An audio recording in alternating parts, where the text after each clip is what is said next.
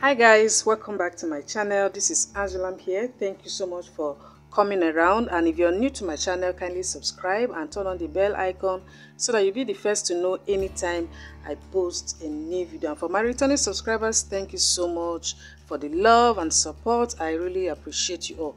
So for today's tutorial I'll quickly show us on how to make an off-the-shoulder baby girl dress with a cape. So if you're interested keep on watching I'll be using for this project. I'll be using this for the cape part of this dress and here I have my net. This is one yard but it's too much. Okay, so I'll just cut the one I'll be needing. This is four yards of net and I have my one yard of satin and one yard of lining and for this dress I'll be using a two-year-old baby girl measurement to make this dress. So as usual I'm going to start by drafting out the pattern so here I have my paper on fold and I will start by marking out the bodice length. The bodice length for this dress is um, 8.25 plus 1 inch for my sewing allowance. That is 9.25 or 9 and quarter which is here. Okay, I'm going to draft a basic bodice from there we will determine the off shoulder and the cape. Okay, so I'll just mark this out and connect to a straight line. I am using this method so that if you're new to my channel you can easily follow up. Okay so this is the bodice length. And the next thing to mark out is the armhole measurement which is 4.25 as well. And that is half of the shoulder measurement. So this is 4.25 i'm going to mark that out and connect to a straight line okay so now it's time to mark out the shoulder measurement. The shoulder measurement is 8.5 half of that is 4 and quarter which is this point here. And I'll repeat the same on this armhole line and then connect the point. This is half inch for the shoulder slope. And for the neck um, width I'll be making it 2 inches and also 2 inches for the neck depth at the end of the day anyways this part will not be needed okay? I am just using it for illustration. So now it's time to connect the points. And then this i'll connect to the neck um, width. Then this is the neck depth okay?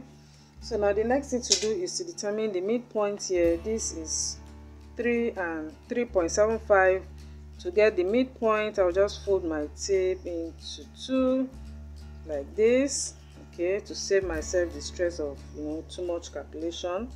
And then on that point I will go in by half an inch which is here.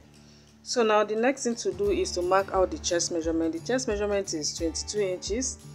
Okay so I'm going to divide that by 4 and that is 5.5 which is this point here.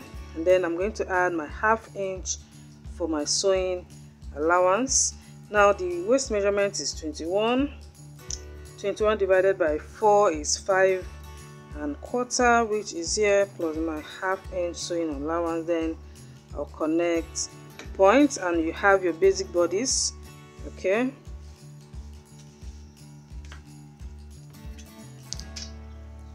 so here you have your basic bodice this is for a two year old so it's time to create the off the shoulder from these basic bodies. And before i continue our online classes are on. If you're interested in any of our online classes just check the description box for a number to reach out for more details on that. Okay so now to get the off the shoulder you can decide to use your midpoint line to create your off the shoulder. It all depends on how high or low you want your the off the shoulder to be. For me for this particular dress i want it very high.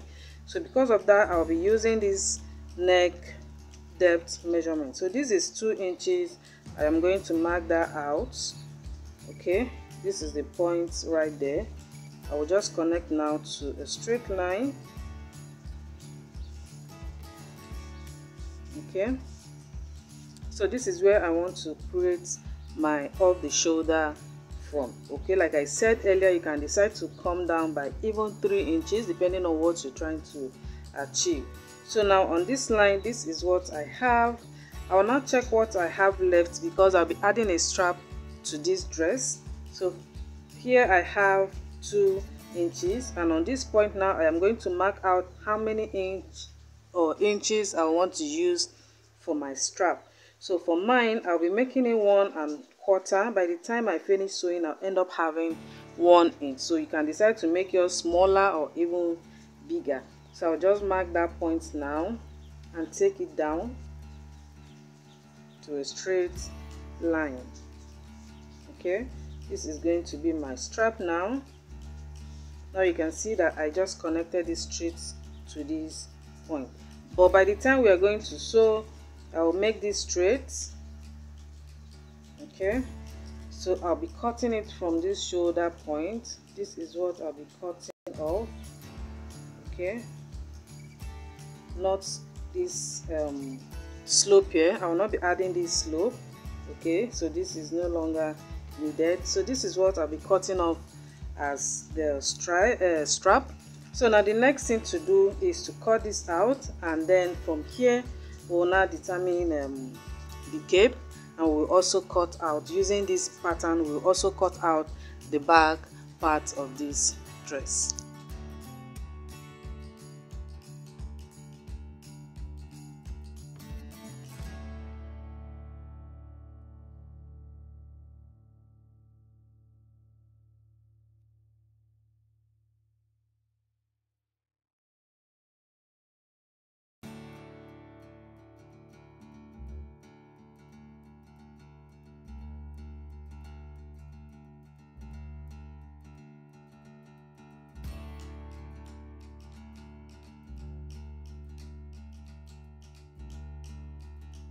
that out. This is the front and I used the same pattern to cut out the back pattern. All I did was to add my one inch for my zipper allowance. And here I'm going to cut off half an inch.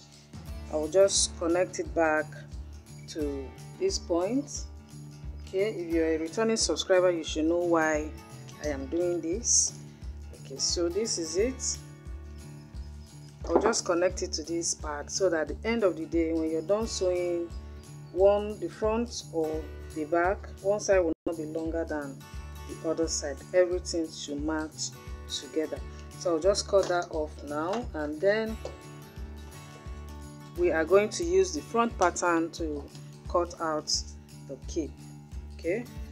So just cut this off now and this is the back pattern. So now to cut out the cape i am going to check what i have on my front pattern.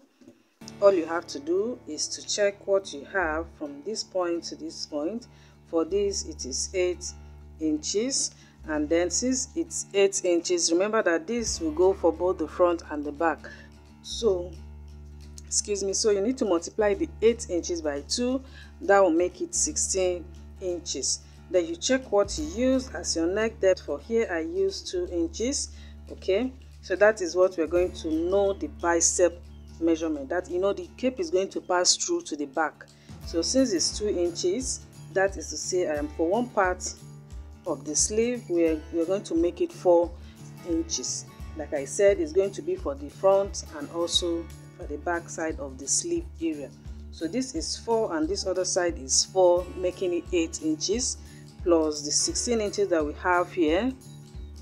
Remember we'll multiply by 2 okay? So that will be 16 plus 8 and that will give me 24 inches. So 24 inches is what i'm going to mark out to use as the cape okay so before all that i'm going to place this on my fabric now and do all the necessary cutting for the upper part of this dress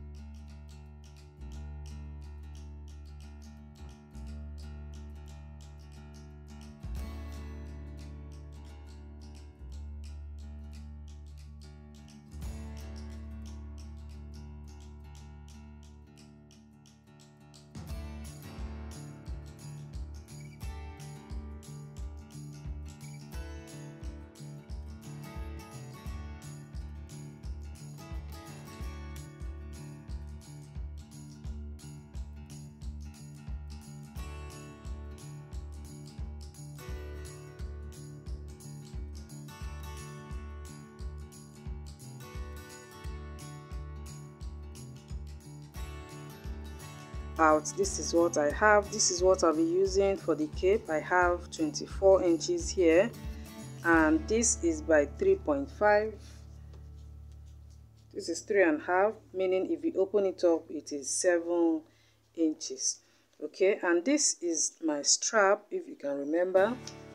This strap you need to cut it off. So this is it. Here it's four because it will pass through the back and it's going to be this way and I used one and half here or here I use one and quarter. Why I use one and half is because I'll be sewing this now. Just close it this way and sew and then turn it inside out because I want this to be as tiny as possible. And here I have the back and the front cut out. So I'll start by um, joining the sides together so I'm going to close this now. Like I said I'll just sew straight and then turn it inside out and I'll repeat the same on this one as well.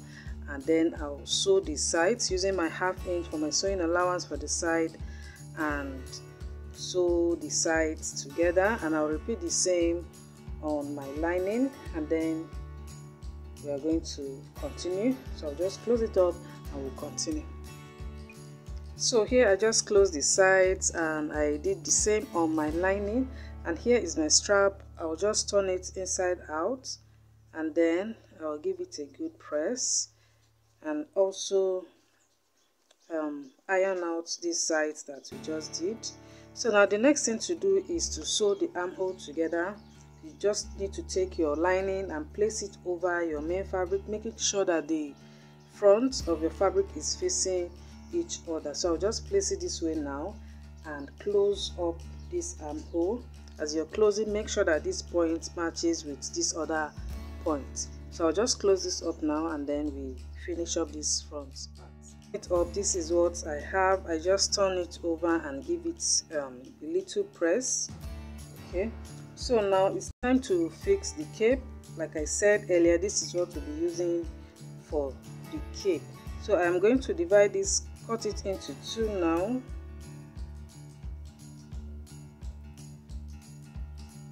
Okay so and I will now give it a slight curve on this part. Okay.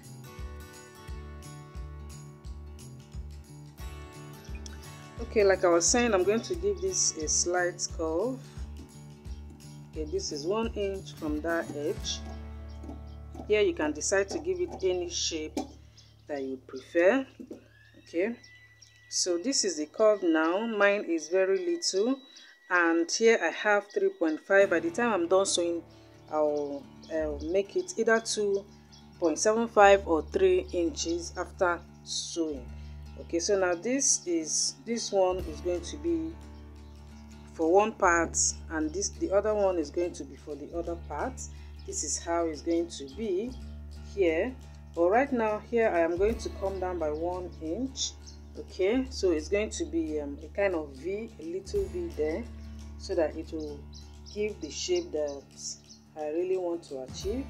So I'll just come down by one inch and just cut it okay? So this is one inch. I'll just cut it straight to this point okay? Now this is how the front neckline is now this is the V this is the shape I'm looking for. And I'll also cut as like this now for the back. And then I will now place my curve my sorry my cape. And then we sew okay it's as easy as that. Let me just cut this off and then we continue. So now you can see that I have my little V and I did the same on the back one. So now I'm going to take this now and close it up I will just sew to close this end and I'll close this side and also this side as well. But on this area that is close to this neckline I'm going to leave um, like one inch that I'll be using to turn it inside out. So I'll repeat the same on this second one and then I'll give it a good press before joining it on this part. Uh, sewing it and turning it um, inside out okay? So now I'm going to give this a press but that will be later so the next thing to do is to um, add your strap. This is the two that I have here. Now to add that i'm going to check mark out two inches. Remember that is what we're working with. That is the neck depth. That is where your strap will come in. This is two inches. That is the point there. So i'm going to take my strap now and pin it at the back because we're going to sew at the back. By the time you turn it it will not sit well on this neck line. So that is the point there. I'm going to mark that point.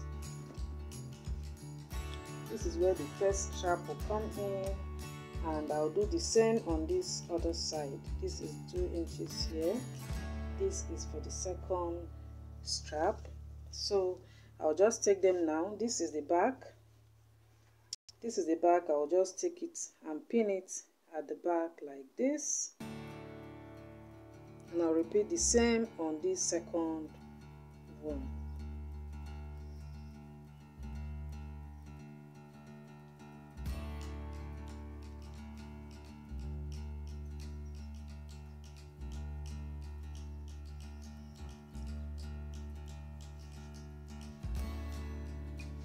So here i just pin my strap. Now you can see that this part that has um, the seam is in between and it's facing the back side while this part that is clean is facing is going to face this front side. So i'm going to place it now and take one of my cape even though i've not given it a good press okay but it's not a problem. You can always um, iron it when you finish but the best way to do is to iron it before joining. So i'm going to take this one. This is coming first and then i will take this part now okay and then move it backward this way from this center point now i am going to use a quarter inch and sew it and end it on this armhole line. So i'll just um, repeat the same with this second one on this other part. So here it is. I just join it like i said together with this other one. And by the time you turn it over you can see that your strap is separate and is already looking so beautiful and so nice so i'm going to repeat the same for this back side now. I will mark out my one inch for the zipper allowance and then mark out the two which we use to pin the strap for the back side. Okay so here is my one inch for my zipper. So from that point now I'll mark out two. This is where the strap will come in. That is for the back. So I'm going to take it now and then I'll pin.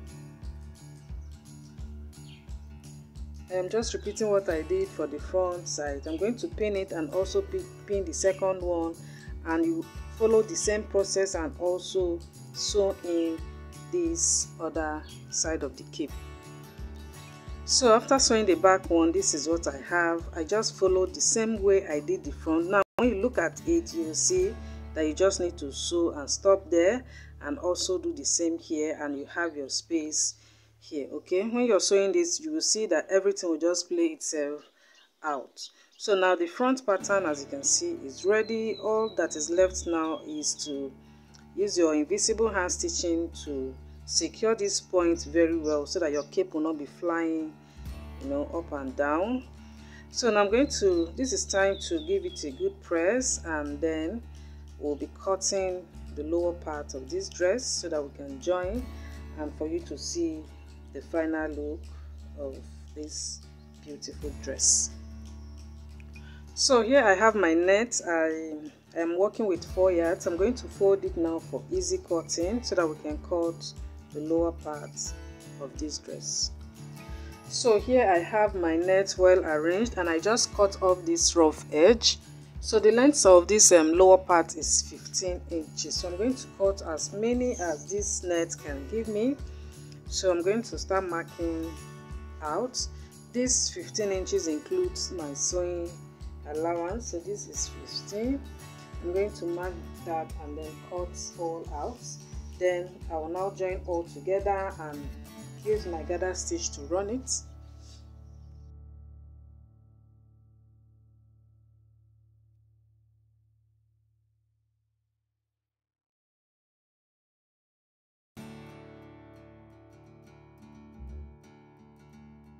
pieces of it and We'll just open it up now and join all of them together. Like I said earlier and I'll use my gather stitch to run it all through. And then here I have my one yard of satin. Okay so I'm going to use this part that is by 16 inches. You know satin is always by 60 inches. That is by height. So I'll just fold that part into two now and cut out 15 inches as well I'm just folding this way for easy cutting. So now I'll just cut out 15 inches and then we continue. So guys this is what I have after joining it together. All I did was just to use my gather stitch and run the net and then pull it till I have my waist measurement. And I did the same on my satin. Then I'll now I now brought the two of them together and stitched it very well before joining it on the waist line. So for your lining the same way you cut your satin is how you're going to cut your lining. You can also decide to add a hard net to your lining so that your dress will stand out very well. Okay so i believe you can do this and i believe you learned one or two things from today's tutorial. So that is it for today. Please subscribe if you have not and i'll see you all soon